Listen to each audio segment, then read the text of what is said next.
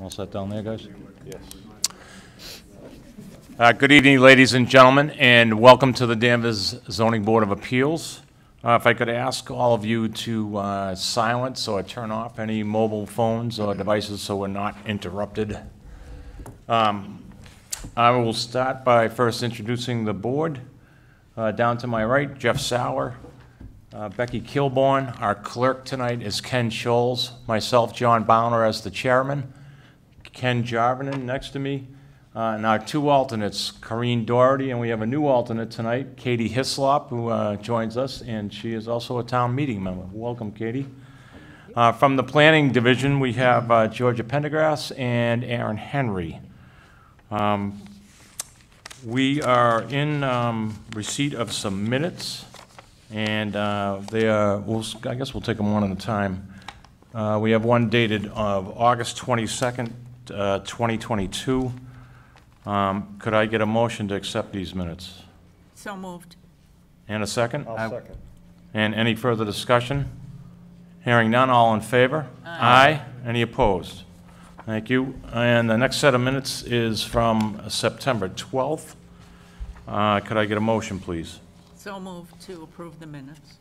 Any, uh, could I get a second? I'll second. Any further discussion?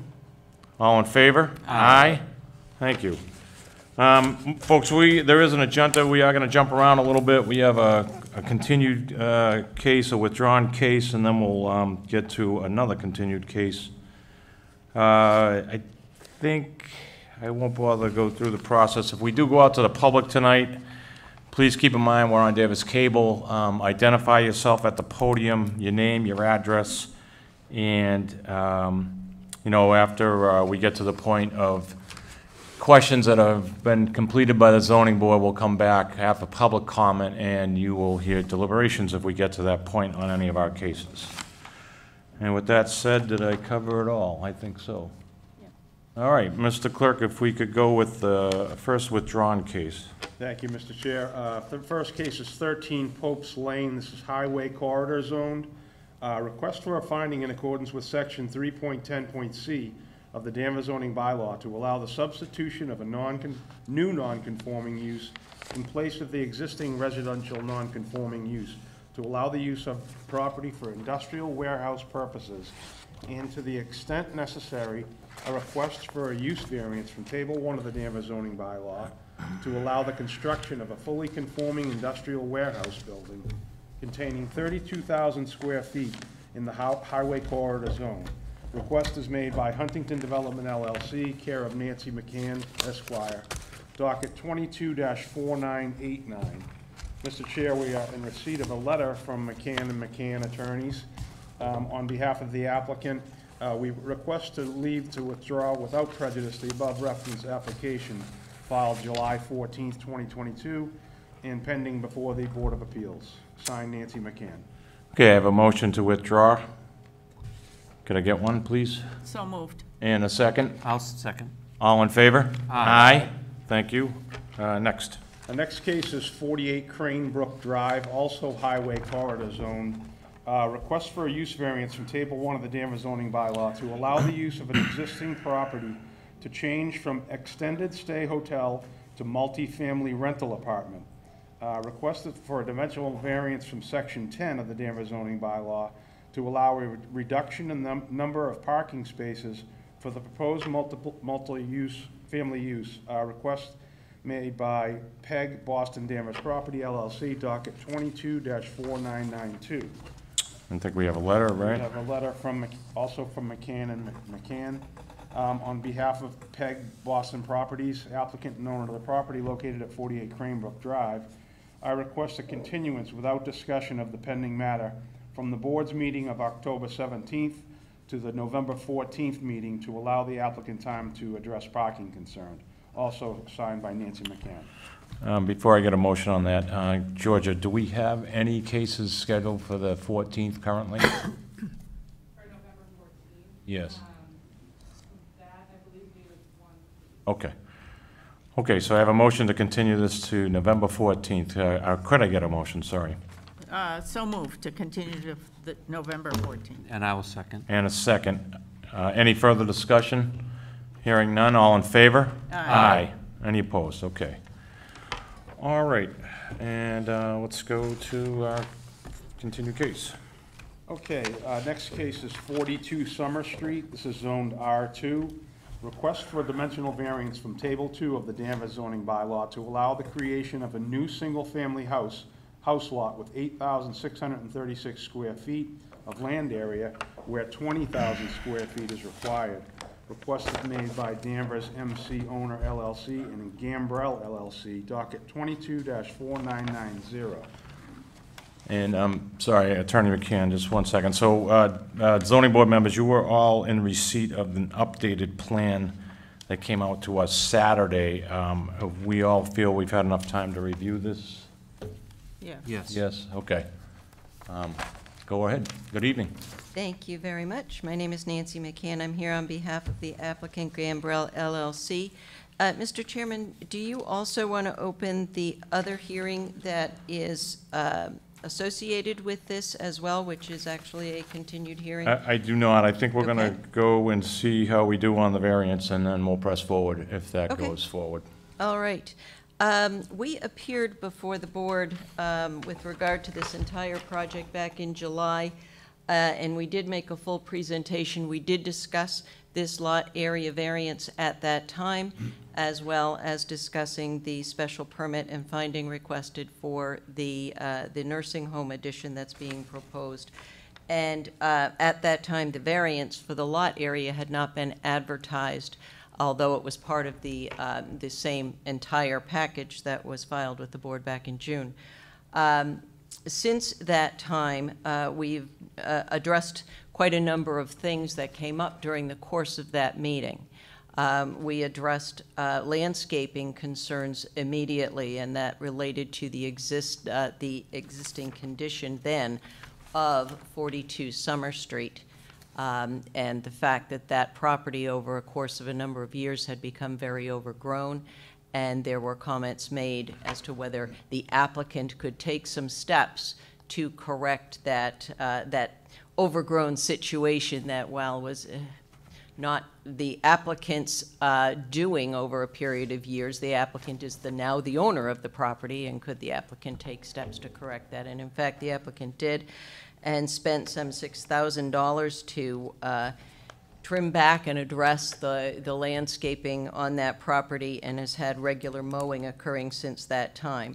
There were also uh, questions with regard to operational issues on 44 Summer Street that the applicant took steps immediately to address with a staff meeting within days of that, uh, that June meeting uh, before you, and um, subsequent memos and follow-up with staff to address those concerns, uh, namely uh, some music and, and loud uh, noises and things that, uh, coming from staff as they come and go and went out on their breaks, as well as smoking um, issues and, and the like, and I can go into those in more detail when we get to the special permit request. But the applicant did listen to the concerns that were stated and took some immediate action.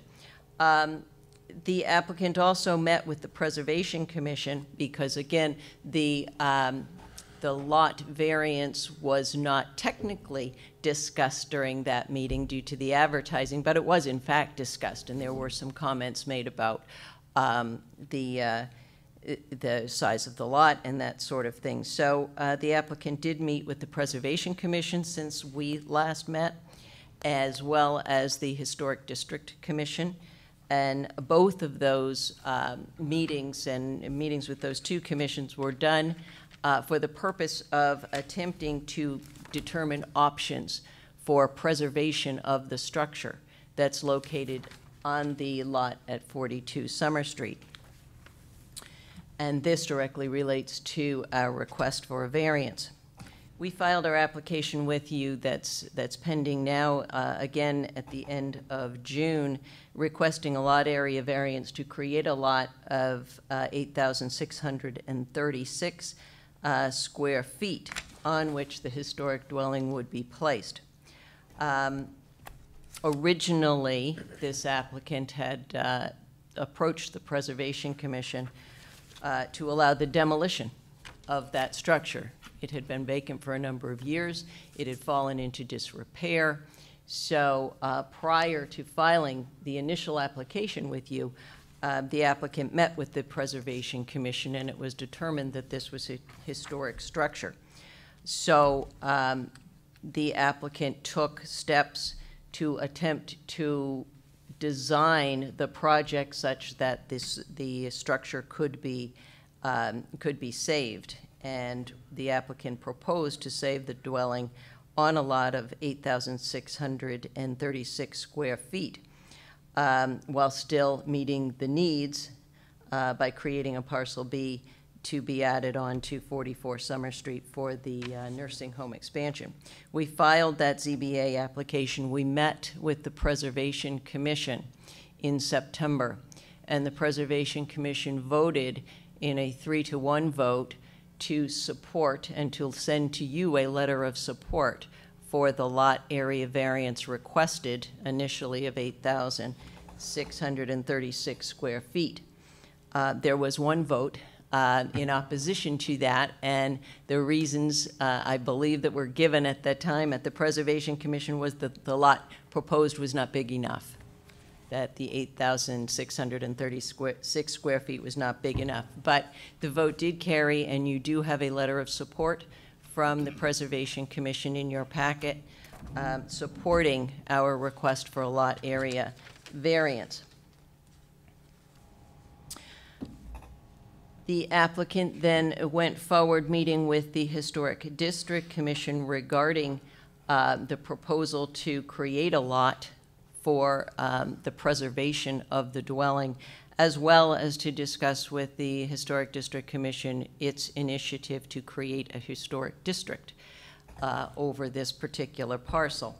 And through that process, and based on the comments that we received, and the comment received from the one dissenting vote at the Preservation Commission, the lot area variance request has been revised from 8,636 square feet to what's before you this evening, which is this plan showing the division of the lot and creating a lot for the historic dwelling of 12,123 square feet. This is an R2 zoning district, which requires 20,000 square feet for a dwelling lot, and we are proposing 12,123 uh, square feet, which is in excess of 50% of the required um, lot area, which is um, of often um, importance to the board when it renders decisions with regard to variances. But more importantly, this proposal and the revised plan that we've submitted to you is a 40% increase over what the original proposal was. So we went from 8,636 square feet to our proposal of 12,123 square feet, um, which again is a 40% increase. Last week, on October 13th, we met with the uh, Historic District Commission and we presented the lot variance application with the revised plan, as you see tonight, 12,123 square feet.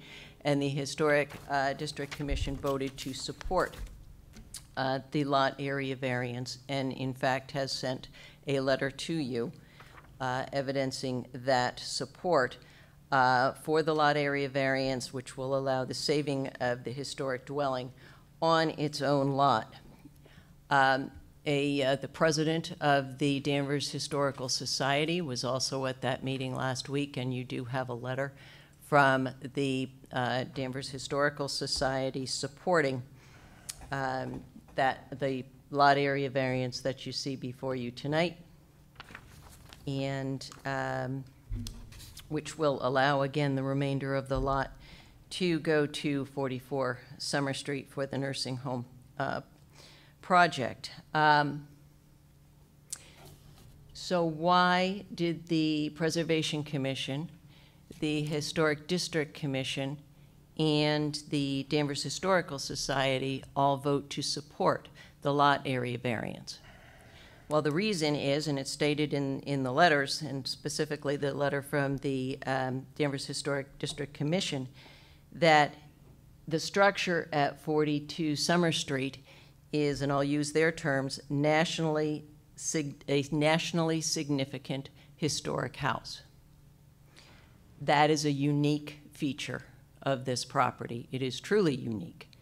Um, There are uh, very few, as the Historic District Commission members will tell you, very few first-period homes left in the entire country.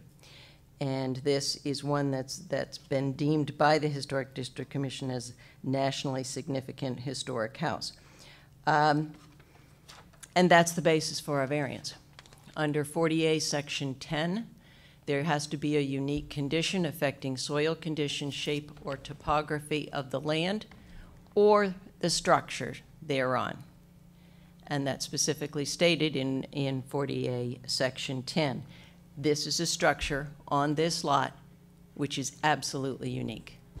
There is no other um, similarly situated um, dwelling of that historic significance, as the town archivist will tell you, um, in this town and perhaps in the country.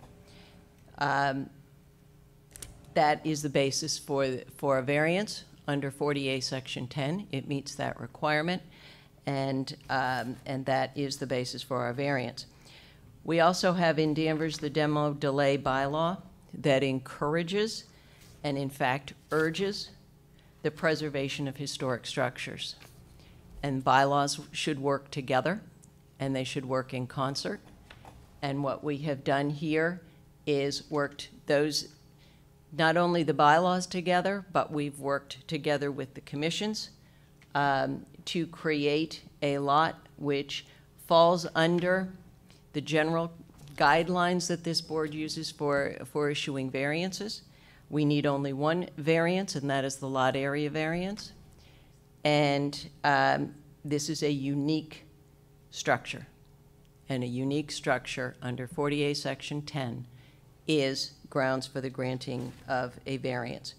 And this proposal will allow not only the preservation of the historic structure, but then will allow um, the entire project, which again, as we filed this, we filed this as an entire project, the lot area variance, as well as uh, the special permit and finding for um, the, uh, for the nursing home that's, that's being proposed, which itself is a permitted use. It is a permitted use in this zoning district. It is permitted by special permit. It is not, uh, it does not need a variance. The only variance that's required here is a lot area variance. And you will notice that um, the setback requirements, both for the existing dwelling as well as for uh, the proposed nursing home, uh, meet the uh, setback requirements as they relate to the new lot line that's being proposed. Um, Special permit, again, uh, we'll go into that in more detail, but we also meet all of the criteria for the granting of the special permit. All right, well, I wanted to stick to the variance right Right, now. so, um, so that is the, the application as it relates to the, um, to the variance.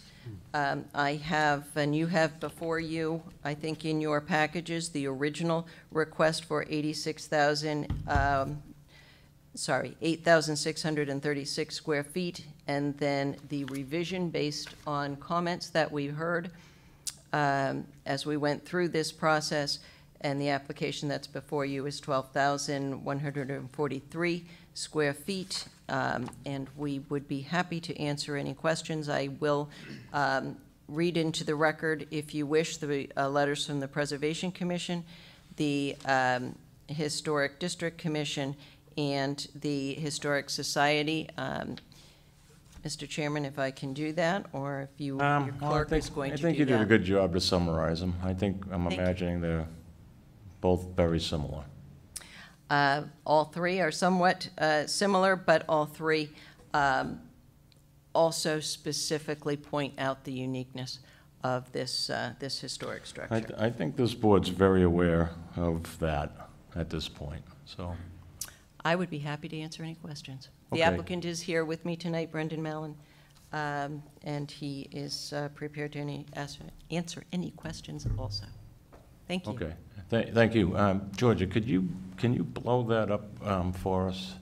So uh, Attorney McCann, before I turn it over to the board, um, so by my quick math here, it looks like you increased the lot size um, by about 3,500 square feet. So how did you arrive at that number, and and what changed from what you first presented to today?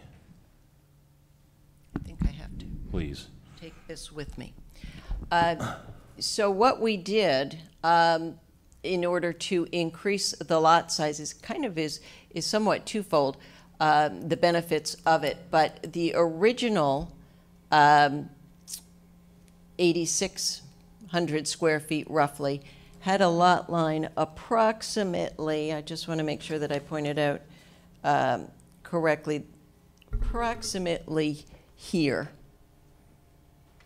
So we created a rectangular lot about to here, right about the edge of the concrete driveway roughly. And that was 8,600 square feet. It's probably closer to here, actually. Um, and then we increased that by about 40% by drawing the line, rather than having it come across here, we took it all the way down. And so the entire existing frontage for 42 Summer Street will remain with 42 Summer Street. Previously, we were proposing to divide the lot such that a portion of the existing 42 Summer Street would go with 42 Summer Street, and the remainder would uh, go with parcel B. But the revision carries the, this dividing lot line all the way down and leaves the entire frontage of 42 Summer Street with 42 Summer Street. And the benefit of that, carrying this down, carrying it through here, is, um, is in, enhances the remainder of the streetscape. So it kind of is twofold, but that was the change. Okay, so before it kind of divided that driveway, and now you've basically carried it all the way down to, um, I guess, the next address on Summer. Correct. Okay. All right, I will turn it over to the board. Uh, Board members, I'll remind you, no comments at this time. Um, Just keep your um, statements to questions. And Jeff, we'll start with you. Uh, Thank you. Attorney McCann, what are the legal implications of that driveway crossing over there? the legal implications of the driveway. There will be an easement for that driveway. And there's, Um, there's no plan to move that off of that property? That is a proposed driveway. Um, And that would remain uh, as part of, of the plan. It would simply be an easement to, uh, to the back area. Um, And that was also discussed at the Historic uh, District Commission meeting, um, that should a um, historic district be uh, developed and, and approved over the new 12,000 square foot lot, um, that, that it's understood that there would be a driveway there, and that would not be prohibited. So it would be an easement. All right, thank you. I have no further questions. Thank you, Jeff. Becky? Just two questions. One, uh, I mean, there's no doubt that it's better to have 12,000 than 8,000 with this house. So um, that being said, can you, and obviously the residential two zoning is 20,000 square foot minimum lot size. So can you give me an idea of that area? Have you kind of looked at the house lots in that area and up and down that street? Are they typically 10,000, 15,000, 20,000? Um, Because we know that uh, there's a lot of lots in Danvers that are under 10,000 and even 10,000, so. um, Sure, there, there are, in this neighborhood, I think they're generally 20,000. Okay, okay.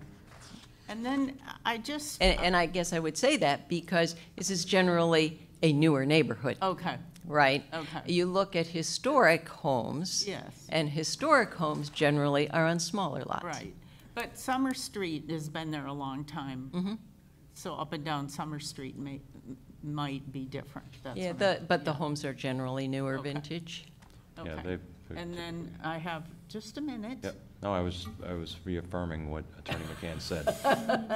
Those lots are typically old-sized, if Okay, anything. all right. So, um, can you go through the planning board? You went in front of the planning board with regard to this lot, right? We were- I'm a little yes. confused, and we, I know that we had some confusion in the beginning as to how this was uh, supposed to be presented? Yep. Okay. um, Uh, I'll be happy to discuss that and give you my opinion on it. Okay, Um, I filed the application requesting everything, the variance and the special permit and the finding, um, with us. with you. Mm-hmm.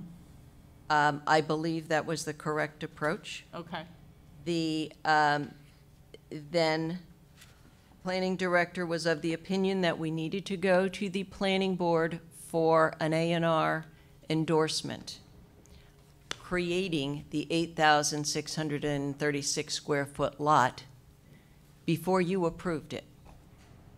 so, That was odd to me. okay, Um, I don't think it's correct, I'll say that. But we did it. We went ahead and did it. So the, the planning board endorsed the 8,000, the 8,000. okay. And by endorsement under the A and R process, they're simply saying it has frontage. That really wa- is what the A and R So the process is approval all not about. Required, it has sufficient frontage. Yeah, it, it had the required they're frontage of the R2 acknowledging zoning district. 8,000 square Yes, feet. Okay. yes. Uh, But now, should you grant this variance, we will have to go back to the planning board with a new A and R Okay, with the 12,100 square feet. Um, I think that was an unusual step to require the applicant to do before the variance for it was granted. But in the interest of time, we proceeded all that way. right. So I just was trying to understand the back and forth. Yeah. Thank you very much. That's it? That's it. Okay, Ken? Um, I don't have any questions, I'll wait for comments. Thank you, Ken. And Ken? Um, what was the original lot size, uh, before you asked for the eighty-six hundred square feet or, or whatever? What is the lot size of 42 Summer Street now? Yes, Uh, 37,725 square feet. okay.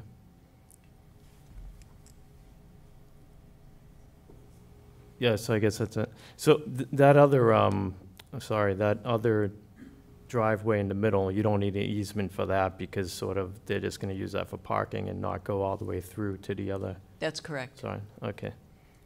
Thanks. That's it, Ken? Yep. Uh, Corinne? I have a couple questions. I am looking at the two plans, and you have the new one that has the new dimensions for the proposed lot, and the old plan actually has where the new addition is going to be situated on the lot. I don't see that on the new plan. Is it because you haven't, um, uh, like, drawn out where it's gonna be based on the new lot size? Or is it gonna be in the exact same spot, it's just not drawn on this new plan? The, the latter. It is going to be in the same spot as, as shown on um, the plan that was submitted with the special permit application. So the location of the addition is going to be the same, meeting the setback requirements to, um, to the new lot. Uh, We just simply didn't um, place the addition on just this revised lot area plan. Well, I'm looking at the two plans, and it looks as if that building, if it's going to be in the same spot, even though uh, it might just be my eyes playing tricks, it looks like it's gonna be pretty close to the lot line. Do you know what the, the set, the setback of that building will be based on the new dimensions? Yeah, it'll be the same. It'll be about 15.2 feet. It's 15. Okay. Corinne, we have that plan. Right there in your right hand, Okay, your right hand. That shows the new building. The new addition, I should say. Okay. Which- I, I, I thought this was the old plan? No, Okay, and it says 15.2 feet, okay. Okay, okay? that was my question. Thank you, Corinne. And uh, Katie? I have no questions. Thank you, Katie. Uh, Attorney McCann, so uh, it's a 37,000 square foot lot. Why not uh, keep 42 Summer Street at a conforming Res 2 lot of 20,000 and 12,000, or, I'm sorry, 17,000 to um, 44 Summer? And then you don't even uh, need the variance. It would not give enough area for the um, nursing home. And what we would then do, which was the initial proposal, was to demolish 40, the dwelling at 42 Summer Street, add the two lots together, and I don't need a variance.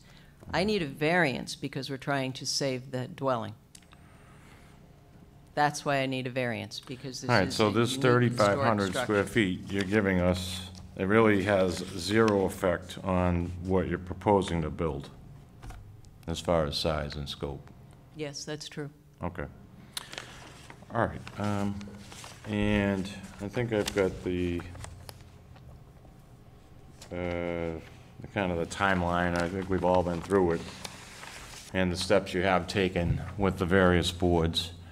Um, and I think that's all I have for questions. I'll go back to the board if there's any additional questions before I send it out to the public. I ju- I Just. Yep, go wa- ahead, Becky. I just want to confirm um, that you're meeting the setbacks for the rear setback and the side setback? The side setback, uh, that side sep, It's 15? okay. Uh, We're meeting the setbacks I know you for can't the meet the new front. lot line, okay? So the new lot would be the rear setback. We will certainly meet the side setback, because it Okay. goes some hundred feet. This se- side setback is not changing, it's non-conforming, it is what it is now. Okay. And the front, obviously, it's on the Front street. setback, it's on the street, Yeah. and that's not changing. Yeah. Okay, thank you. Thanks, Becky. Anyone else? All right, I'll go out to the public. I'll remind the public that we are just uh, hearing the variance, uh, variance piece of this application. So this is strictly questions or comments to do with what the applicant is proposing as far as splitting the lot. Uh, Anybody from the public li- wish to be heard? Yes. And please direct your questions through the chair. Hi, my name's Marianne Owen.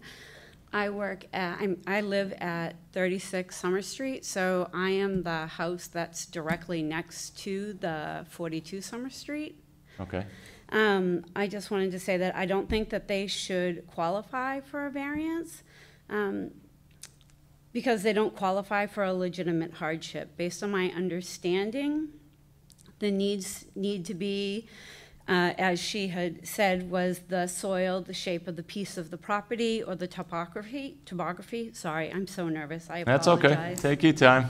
Um, It is also my understanding that it has to be a unique flaw to the property and that it should not be for financial reasons. I find it despicable that she is using the uniqueness of this historic structure to get around a legal requirement. Um, I don't think that this is a, a valid reason for a variance.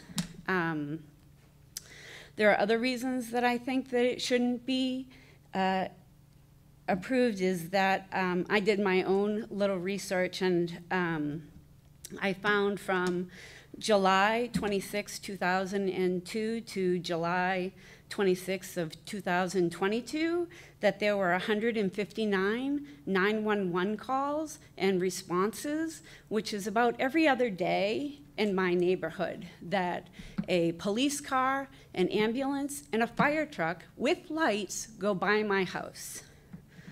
Um, and it's very uh, disruptive. I'm not um, saying that that shouldn't happen, but I'm saying that an expansion to a nursing home, adding a nursing home on top of that is incredibly disruptive to this neighborhood. Um,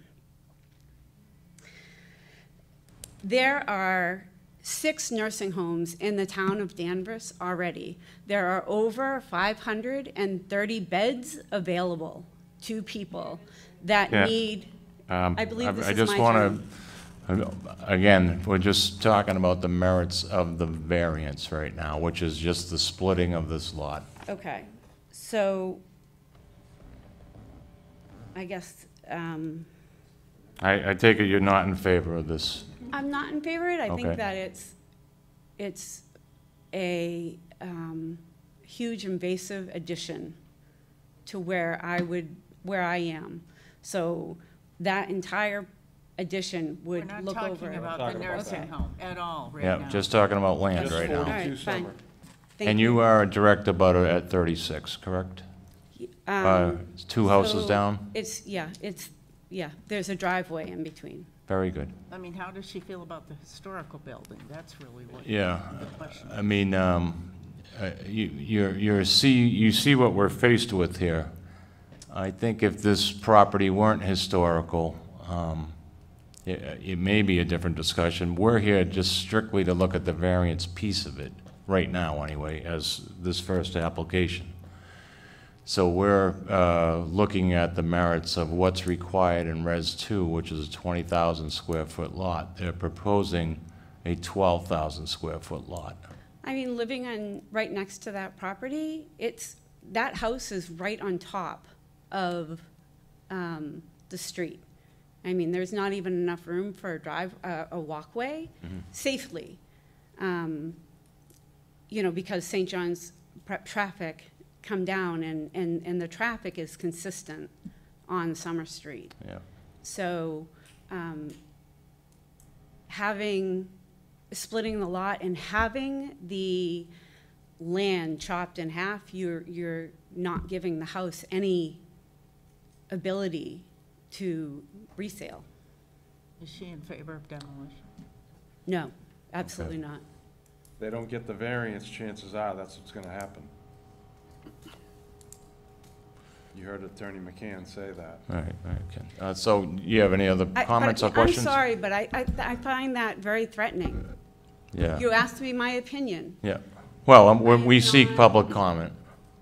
Yeah, well, and I should be able to say that without being told then that, well, if I, if they don't get their way, then they're gonna tear down. Well, we're not telling you that. He, Well, that's, he just said that to me. So, I said chances are that could happen. It's Legally, they have the right. They own it. They They own have the that lot. right. To do that. Okay, so let's All right. move on. thank you. thank you. Additional public comment. Uh, Um, yeah, sure.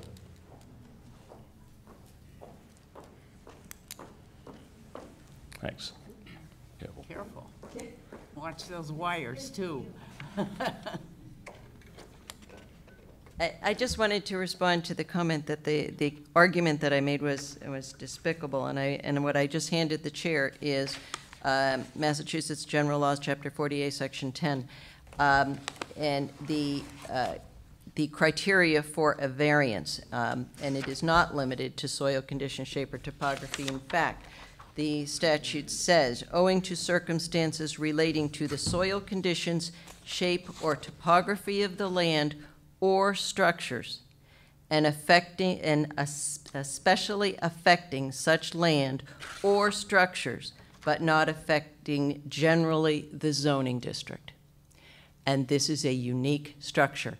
And if the legislature did not intend for unique structures to be considered, the term "or structures" would not be in this statute twice. Thank you. Okay, Aaron Henry. thank you. Yeah, Aaron, could you uh, weigh in on that?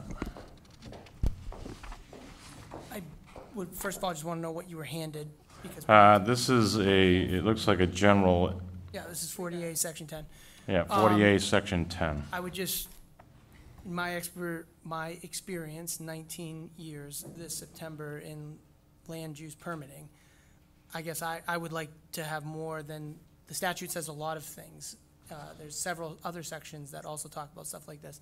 I would, I'd, I'd like to see a case law where, I, again, I'm not saying it doesn't exist. I'm not aware of a controlling court making a decision, a black letter law decision. Based on a pertaining to structure. Structures. Okay, Not saying it doesn't exist, but Right. that's, understood, okay. I understand what the statute says. I also know what case law has said about variances, and our job is to counsel them. And I would, if there's case law that supports that argument, I would like a chance I to see it. It's a legal di- issue. Right. Yeah. Well, we're trying to keep this from becoming a legal issue, right? We're trying to make a good informed decision Right. this evening. So, uh, additional public comment. Hi, good evening. Hi, good evening. My name is Jen Lovell, and I live at 43 Summer Street, right across the street from 42. Hi, Jen. Um, And our lot is just under 40,000 square feet, so, and I feel like a lot of the houses in the neighborhood are as well, good-sized lots. So, you know, I, I mean, I can address some of the things that she said too about the landscape and being taken care of, but I'm not sure if this is the time or not. Well, she brought it up, and I think it's worthy as, as someone who uh, lives across the street and looks at it. I know, again, I, not to defend the applicant, but I do understand they only purchased in January, I believe. It was brought to their attention, and they have attempted to address it now. Right, right, I it's been know attempted. uh, things can get, get, get lost in translation, but uh, yeah, certainly uh, would like to hear from you as a neighbor. Yeah, I think it took them a while because my husband, as well as some of the other neighbors, would go over and, you know, mow it just so that people walking by on the sidewalk could um, see that in, in order to get to the nursing home, coming one way, you have to pass that. So there's no way they didn't see that. And just having that pride of, I own this property, I should take care of it, to, you know, be a good neighbor. It wasn't, it didn't happen until we brought it to their attention. You know, people going by with strollers, kids on bikes can't really go by if it's overgrown, and on my side, there is no sidewalk. So just some of those issues that were um, concerning to us as well. Um, And I know that some of the other issues that we brought up were um, addressed, but I am, my husband and I are definitely against splitting the lot. We would like to see the house saved. We'd like to obviously see nothing happen to the property. We don't want to look out and see, you know, what the- their plans um, to extend the nursing home. It's, like Marion said, the police, fire, ambulance go through all the time, and adding 30 units would, Can you cut You know, this off, you know, please? Well, uh, expanding that. And what about the other uh, things that were uh, brought up? Have they been addressed, as uh, the applicant has indicated tonight? Um, I haven't seen anyone out there smoking. Um, Okay. Again, it's, you know, it's not summertime anymore, so that was one of the big concerns that I saw. Uh, My neighbor who lives next to me, right on the corner, right across from the nursing home as it is, wasn't able to come tonight. She's sick, so she's, I think, I believe she's watching on TV, but, um, you know, she would obviously be able to speak more to that as well. Okay. But they haven't been back that I've noticed since they've landscaped, so, And so you're not in favor of the variance? no. Okay, very good, thank you. And I have more to say if, it- Uh, Anyone else from the public who would like to speak on 42? Yes, Mr. Bradstreet. New comments, I hope. I think we have somebody, somebody online, too. Oh, yeah, well, go ahead, Oh, Mr. no, Bradstreet, I'll they're take you not- now. They're just watching? Is there someone online as well? They're just watching, I. Okay. Uh, They're just watching, okay. Bill Bradstreet, Town Meeting Member, Precinct One.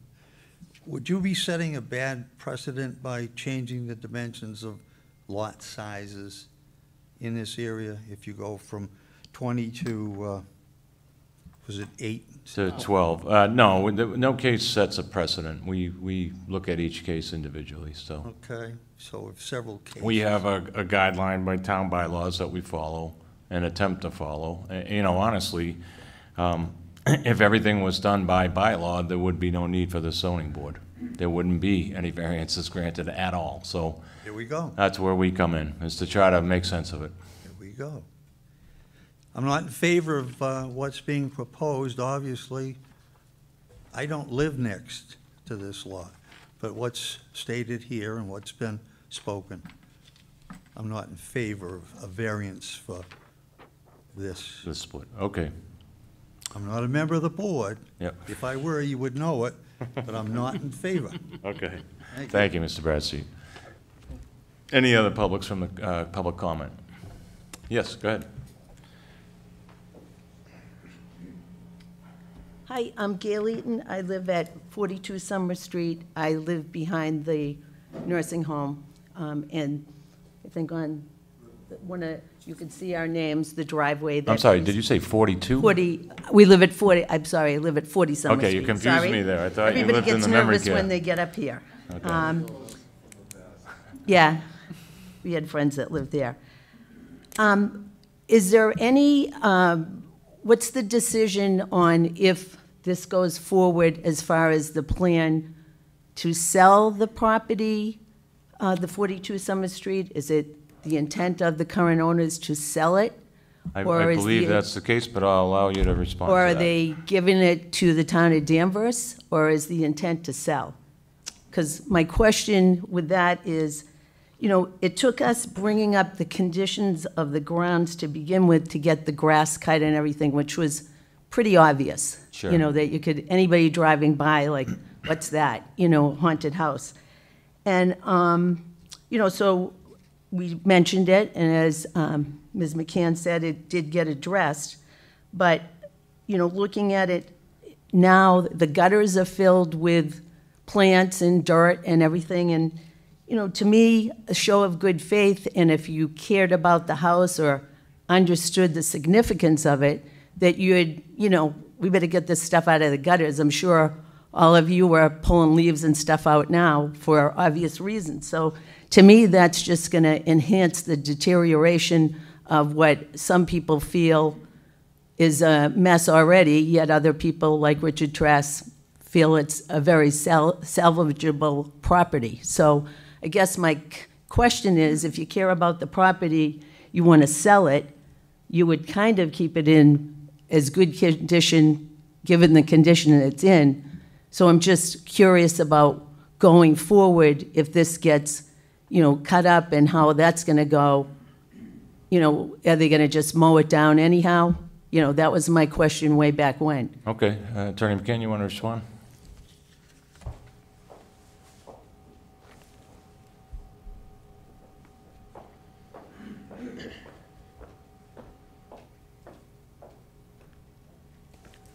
If the lot area is, it, variance is granted and the special permit is granted as, to make the project as, as we've presented to you, then the intent is to, uh, sell forty-two Summer Street, um, for a single-family residence and have that building be restored.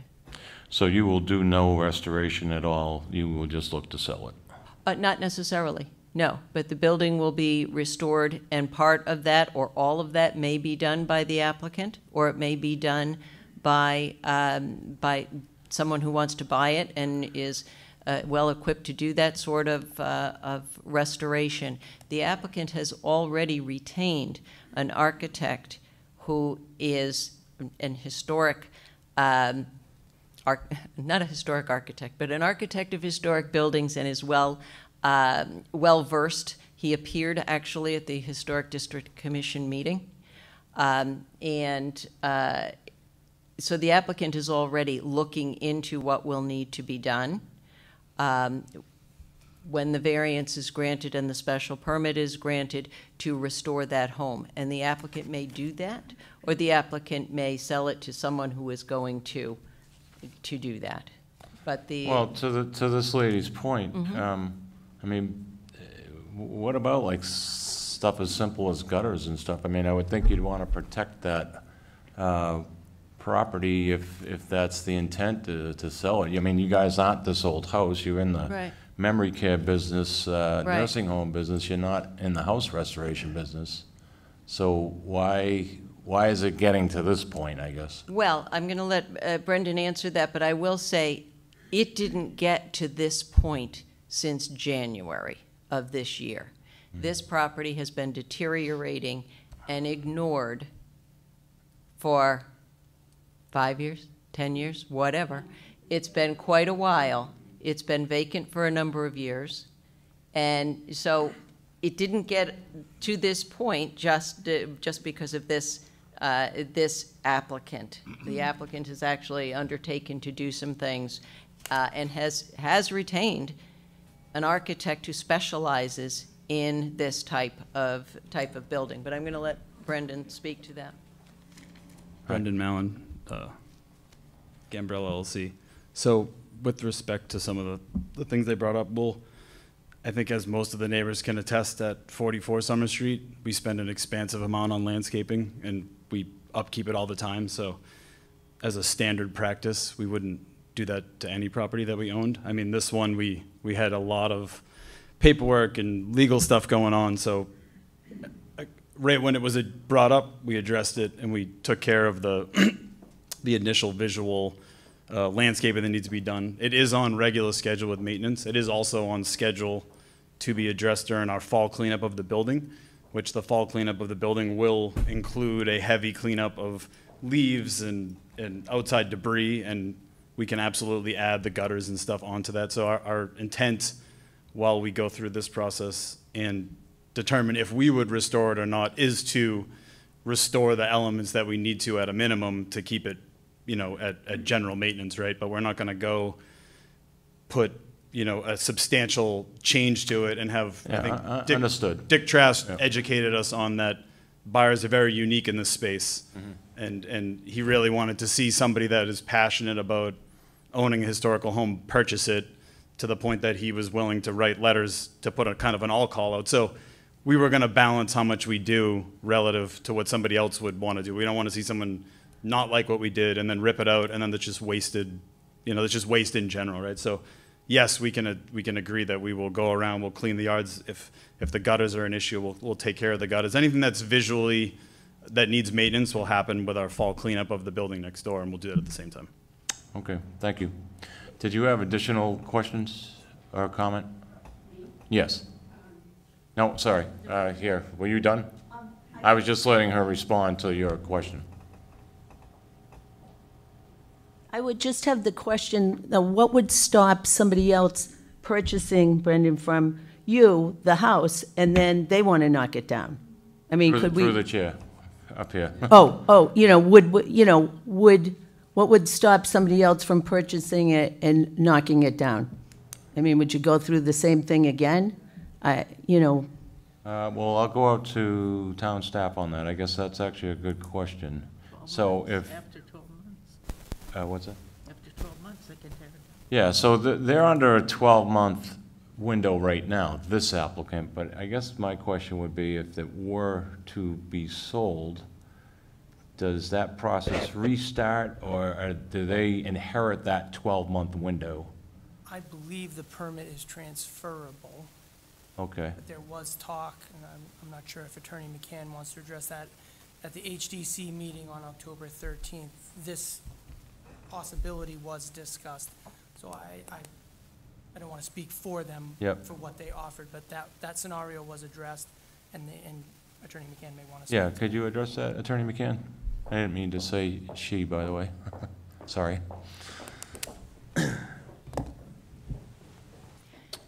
So the question is, if, if this were sold by your applicant, mm-hmm. minimal renovations or none, what happens to the uh, one-month uh, demolition delay? The one year? The one, sorry, Yeah, yeah. yeah. The Now I'm one-year getting tripped demolition up. Yes, delay. the one What year. we represented to the Historic District Commission is if the variance is granted and the special permit is granted and this project is approved, we would withdraw the demolition permit. And therefore, anybody who would want to uh, demolish it in the future, if that ever were to come to pass, they would have to go through the demolition delay bylaw process under the Preservation Commission, which would no doubt impose another one-year delay um, on it. So that was the But you would representation. withdraw not through this board, you'd be withdrawing through the Preservation Commission. That, actually, through the building inspector's office, we You would withdraw. okay. uh, And we would advise the Preservation Commission that we have withdrawn that Got it, okay. application. So um, the the intent absolutely is for this property to be preserved and uh, sold to someone who wants to uh, continue its restoration and, and have it remain. But sometime, you know, 10, 15, 20 years from now, somebody wants to demolish this building, there is a process. Sure. And, but we would withdraw that uh, demolition permit, um, so that we are giving up any rights to demolish after a year. um, That would go along with the decision that's already been made by the Preservation Commission. And, and I take it you would take that as a condition? Yes. Okay, thank you. Any other additional uh, public comment? Uh, Let's see how it's going. uh, Yeah, you can continue, yeah. Questions, please. I just, is that something that would be in writing, you know? Yes, a that's what I legal- just- Yeah, so- just, that would so be. by me asking- Yeah, it's not just saying, they're No, saying it's not a it. handshake, it's, Right. it's, um, It would be in writing as a, yeah, so they condition. would take it as a condition if the board were to grant the variance, that they would withdraw their request for a demolition permit. and then in other words, like the future, somebody that purchased it would They'd know have to start upfront. all over again. Because it, it seemed like at the beginning that there wasn't a lot of research done about the property that they were purchasing because it was a very swift sale. There wasn't a lot of research by the applicant, but the Preservation Commission was very aware about uh, the history on the property, and that's when the applicant became aware of it. Right, right. Yeah. Because it was a quick Yep. type of thing, okay. Do you have any, and I take it you are or aren't in favor? I've Go to the microphone, please. We're on the cable. Um, this- This is some new information that I'm just getting tonight, as far as the size of the lot, the, We're, we're all getting it. you know, we didn't get any letters from the Historical Commission, right? We never got, so we don't know who was in favor, who wasn't in favor. We never saw any of those um, letters or anything, which I guess just go to you, but, so some of this stuff is brand new, so I'm pondering it as we're going back and forth here right now. Okay, thank you. I just wanted to add something to, I think, benefits the whole conversation. We also agreed in the historic district meeting that pending the approval of these two, we- we're actually going to show up, not only withdraw the application, we're actually going to show up in support of the, as the owner of the uh, single-purpose historic district that they would draw around the new property if it goes to town meeting, and we would not sell the house until that town meeting is heard. So that would, assuming it gets approved at town meeting, that then puts a historic district around the new parcel and prevents the new owner from pulling a delayed demo because now they're under the restriction of that new single-purpose district. Gotcha. So just, Thank you. Yep. All right, additional public comment, new comments only. I'll, I'll let Mr. Brad see if it's quick. Go ahead. Uh, up to the mic, no. You, you, I'll close on you.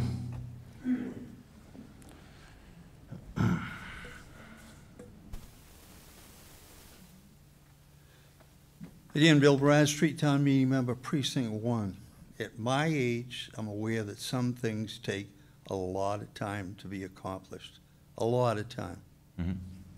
If someone that were to purchase this house, and if it doesn't, the roll, the uh, roll doesn't pass the town, someone could, whoever they might be, as a favor or whatever, knock the house down, turn it into a nice grass plot of land.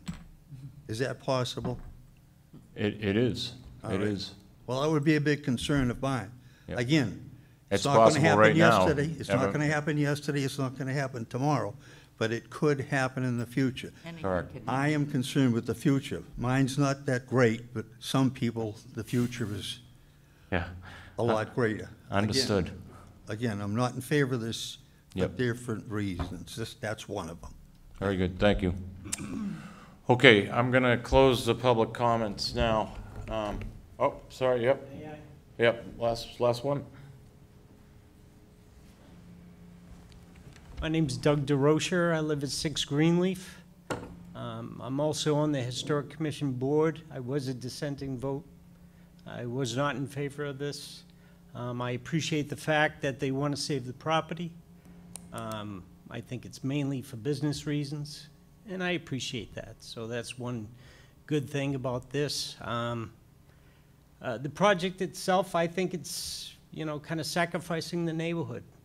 Uh, The main reason why I did not vote in favor of it is because I think uh, my neighbors, my family, my friends, we're all going to pay a heavy price. Um, I did submit a letter a month or two ago. Um, I've had rat problems in my backyard uh, where just dead corpses have shown up. Um, And I believe it's because of the dumpsters. Uh, I never had an issue before. I've been there for 13 years. Um, I think bigger dumpsters that are fuller uh, are just going to bring the issue and, and make it worse. Um, And I don't think it's good for the neighborhood. Uh, I don't think we deserve it. Uh, I'm sure most of us move there because we love the neighborhood. Again, Mr. Rocha, we got to keep it to the variance piece of this, sorry. Okay. Um, Yeah, I, I just felt like I needed to say my part. Uh, I think the project in general is going to be a big detriment to the neighborhood. And you are, you're on the Historic Commission, That's correct. and you voted against this? Yes. Okay, thank you. Okay, I will close the public hearing now. um, And uh, would you like to sum up, or I will ask the board to deliberate this application? Actually, one additional question. Uh, Attorney McCann, just before you go, um, Mr. Scholes has an additional question Uh, for you. Mr. Chairman, through you, uh, uh, Attorney McCann, point of clarification, when you said you're going to withdraw the uh, demolition permit, but you're only going to do that if this whole project is, con- not just the variance, but the whole project is approved, correct? And then Yes, you this- withdraw the, Yes, this is one application. so if you get the variance, that doesn't mean you- you're going to withdraw the destruction permit, demolition permit. This is an entire project, and it requires a variance, a special permit, Want and a to- finding. To realize that. That's, that's right. And the reason we need the variance, since we're talking about the variance now, the only reason we need the variance is we are attempting to meet the desires of the town to retain the historic structure. And the original process that this applicant went through, if we did not save that historic structure, we would not be seeking a variance.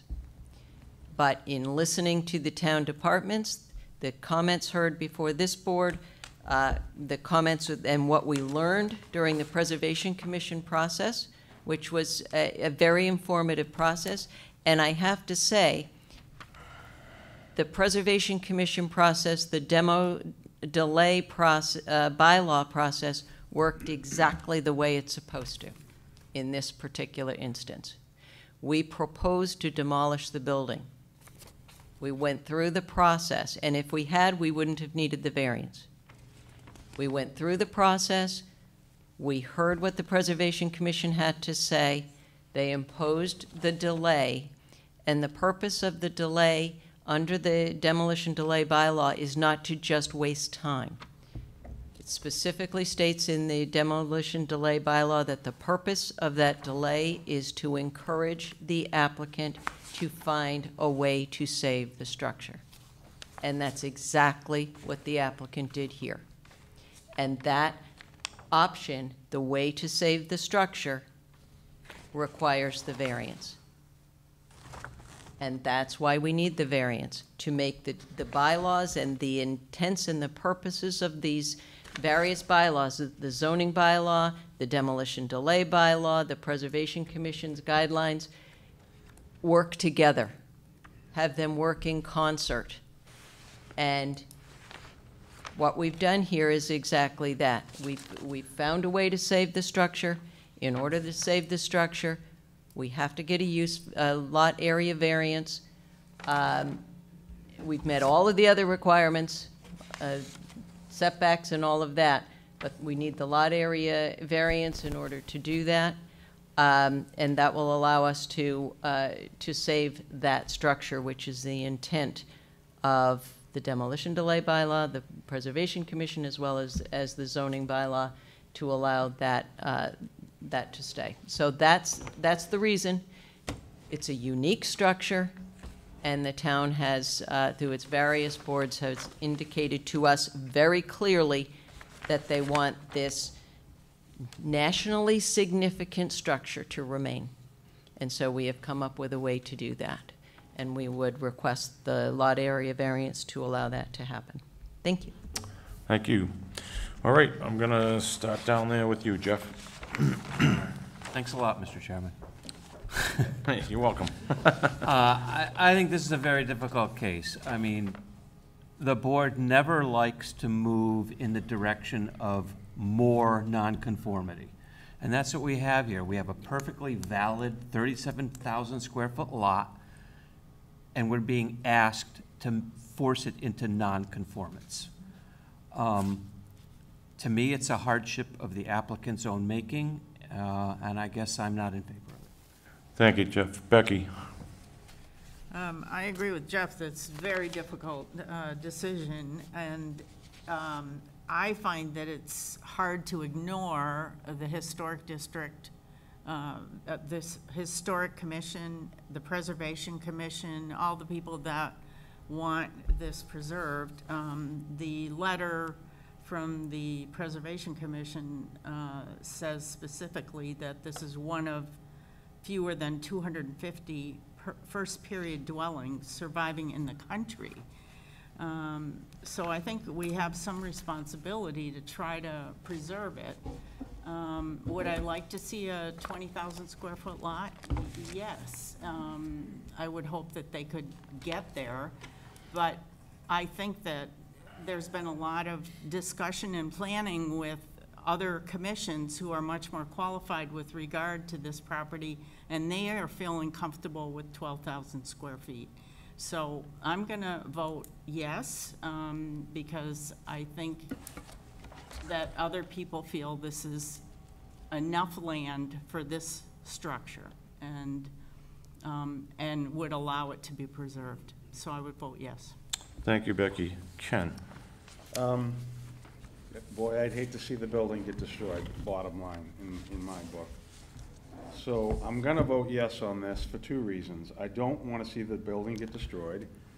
And if it did get destroyed, guess what? You- You're gonna see the, the whole new addition building and not see that dwelling, hopefully, you know, built back to the way it should be. You're gonna see a big industrial nursing home. Nothing's gonna be there. So I'm gonna vote yes on this. Thank you, Ken. And Ken? I'm a no on this because I don't think it reaches the threshold of a real hardship. I think it's really monetary um, by the applicant. And also, there's really nothing that's gonna, s- that could stop this to get ripped down in a couple of years or something. So I think inevitably, we're at, there's a lot of what-ifs. And to take a non-conforming and make another non-conforming doesn't really make sense. Or take, take a, a conforming lot and then make two non-conforming lots. Doesn't make sense, like Jeff was saying. So for me, I'm a no. Thank you, Ken. Karine? I agree that there are a lot of challenges with this, this particular case. Unfortunately, um, being a member of the zoning board, we can only look at the zoning aspect of this. And I, we cannot make a conforming lot non-conforming to save a historical structure. And as much as I would hate to see the structure um, demolished, um, that really isn't our task tonight. So I am a no. Thank you, Karine. And Katie? Um, Similarly, I would, my comment would be that I, um, it, it is troubling that you would make a um, conforming lot non-conforming. Um, And it, it- if this, and I, if this variance is approved, um, nothing is going to stop the building from getting torn down if the entire project is not approved. So with, with that in mind, I, I would be a no. Thank you, Katie. Um, I I agree, uh, Attorney McCann, with uh, my fellow applicant, uh, my fellow uh, zoning board members, that, you know, we're in a tough spot here. And um, our, our hat is the zoning board. It's not the Historic Commission, it's not the Preservation Commission. Um, We look at zoning uh, I feel like the splitting of this lot down to 12,000 square feet, uh, okay, I, I, I do acknowledge that you gave more space to 42 Summer Street, but it's, it's, you're creating your own hardship in my estimation, although I I do understand what you pointed out about structures, but for that reason alone, I'm a no, so. What would you like to do? You don't have the votes to pass the variance at this point. In response to some of the comments that I heard as we were going down the line, uh, one thing that was discussed at the um, Preservation Commission meeting, as well as the Historic District Commission meeting, was the applicant's willing to, willingness to put a preservation restriction on, uh, on the dwelling. And we would take that as a condition of the variance, so that, um, to Mr. Dervinin's point, um, in a couple of years, someone could not come in and say they wanted to take down the structure. The structure would be preserved uh, on a preservation restriction. Um, That preservation restriction um, actually preserves the structure more um, than even a historic district would, because there are um, int- interior elements that can be and would be preserved that are not preserved under a historic district. Um, So the applicant would be, um, would be amenable to a restriction that a preservation restriction would, or a uh, condition, I should say, of the variance, that a preservation restriction would be placed on the property. Well, I, all right, I, I can see, um, you know, that you're offering this up now, but we have deliberated. It has been based, uh, from what I understand, mostly on lot size, not on whether or not the property would be preserved. Um, And is it, am I accurate with that preservation restriction? That would only happen if town meeting votes in favor of that? No, no, it would So have that- nothing to do with town meeting. Be a deed restriction. Yeah, so, uh, again, I, I- I heard from my fellow zoning board members that they're not happy with the split of the land didn't know becoming I- a non-conforming lot. So I, I, I I understand the, the historic piece of it, but, it- but I- I'm hearing that the no's were because of the size. Mr. Chairman? Uh, Yeah, And the obvious solution for the applicant is to give the house 20,000 square feet and scale down the size of their addition. yeah, well, that's on them, but right now you don't have the votes. And they wouldn't have to be here at all. Right, and we talked about that, and they can also wait and just demo it, so, um, it's your call. May I speak with my client? Sure, yeah.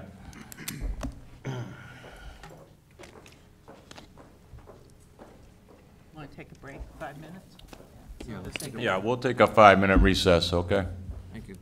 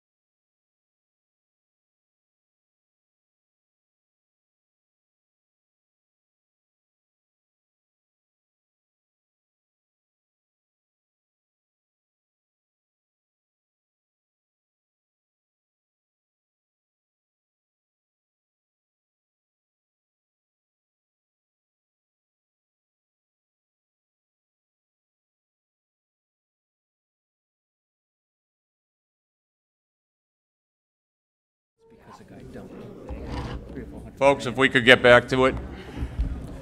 Uh, I'll call the Danvers Zoning Board of Appeals back into session. Uh, Attorney McCann, what would you like to do? Well, I believe what we need to do is, um, we would like to request to withdraw, uh, without prejudice, the request for a lot area variance, please. Okay, could I get a motion, please? So moved. I'll second. I have a motion to withdraw uh, 42 Summer Street uh, dimensional variance. All in favor? Aye. Any opposed? Thank you. And as far as the special permit, Um, I would like to request a continuance Okay. on the special permit application, please. okay, and is the November date uh, what you're thinking of? What's that? Eleven fourteen? Sure. 11/14? Yep. Okay, could I get a motion to continue Is that the okay? special permit, 11/14? Um, Just wait a also minute. want to acknowledge that it's also the finding. Sorry, too many people talking. Yes, it is. I just wanted to acknowledge that it's continuing the special permit and the finding. Yes, it's two pieces. It's, uh, yep. Attorney McCann, that date's good for you, 11/14? Eleven fourteen, Brendan, does that work for you?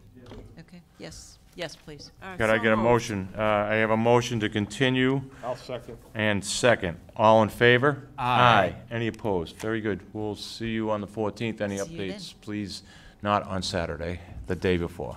I will try not to. Thank you. Thank you so much. I appreciate your time tonight. Yes, thank you. A motion to adjourn? I have a motion to adjourn. Can I I'll get a second second? that. All in favor? Aye. Good night, Danvers. Good night, David.